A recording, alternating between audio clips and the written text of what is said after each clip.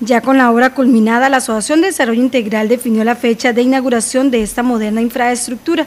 La actividad será el 3 de octubre a partir de la 1 de la tarde, donde se realizará un desfile con mascaradas y bandas de diferentes centros educativos por las principales calles de Ciudad Cortés. Y la intención es que finalice frente a la Casa de la Cultura, donde posteriormente se harán diferentes actos culturales con la participación de talentos del Cantón de Osa. La inauguración es el 3 de octubre, sábado 3 de octubre, a partir de la 1 de la tarde. Las actividades son varias, se inicia desde el parque un desfile con bandas y mascaradas, la cual llegará hasta aquí y después de ahí iniciarán los actos protocolarios. Posteriormente vamos a tener actividades artísticas y este, con todos los artistas del cantón. En la agrupación afirman que ya están en los últimos detalles para llevar a cabo la celebración en grande.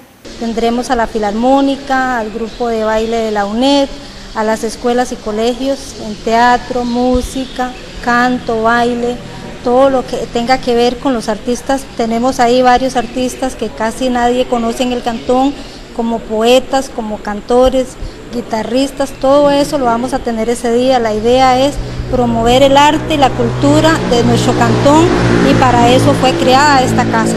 Esa es la primera casa de la cultura que tiene nuestro cantón y en eso es lo que queremos, empezar a desarrollar todo lo que tenga que ver con arte y cultura.